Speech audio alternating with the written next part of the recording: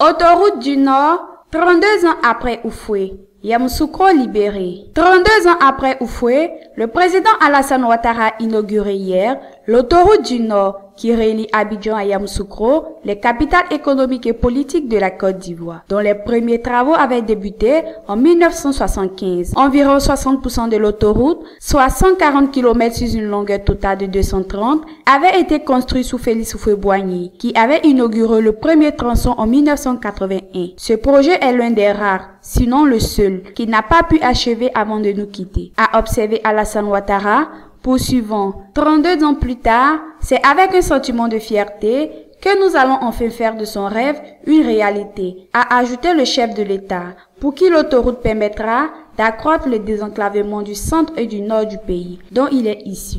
Le lancement des travaux du deuxième tronçon, soit les 90 derniers kilomètres jusqu'à Yamoussoukro, avait été lancé sous Laurent Gbagbo l'ancien président en 2007 sans être terminé en raison de la crise politico-militaire ayant touché la Côte d'Ivoire de 2002 à 2011. Quand le pays était coupé entre un nord hostile à l'ancien régime et un sud qui lui était favorable, les travaux ont coûté 180 milliards de francs CFA, financés notamment par la Banque islamique de développement et par l'OPEP. Pour le président Ouattara, l'As du Nord moderne est doté de vidéosurveillance, de radars de vitesse, d'une police et d'une gendarmerie autoroutière bien équipée et de centres médicaux permettant la prise en charge rapide d'éventuels accidents.